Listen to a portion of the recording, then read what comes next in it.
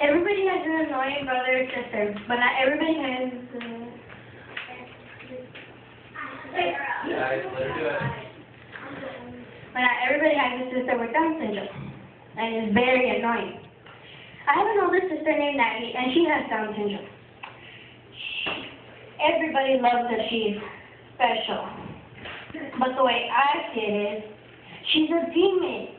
She's obsessed with, she curses like a drunk sailor. She's obsessed with WWE. So now she practices the move. Like, I'm a practice dummy. Sometimes I feel like she's gonna kill me. Like, strangle me. When I'm by myself, I'm scared. like, I wanna hide under my bed and stuff. And then, so, if she kills me, she can have mom and dad all to herself. Even though she already has them wrapped around her chubby little fingers. Um,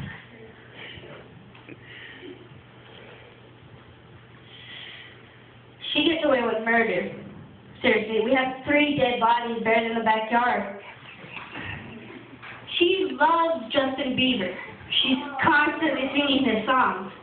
I mean, he's good and all, but can we get some auto tune around here? And eh, who doesn't know what auto tune is? Like, it fixes your voice to make it sound better. So, she drives me crazy. I'm serious. But I love her. But I love her even more when she's sleeping.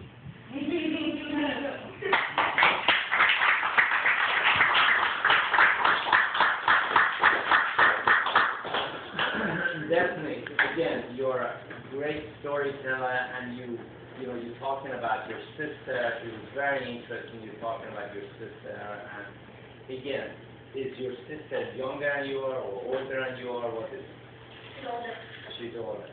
Okay, and how tall she is, and is she overweight, is she underweight? Let's describe it a little bit more.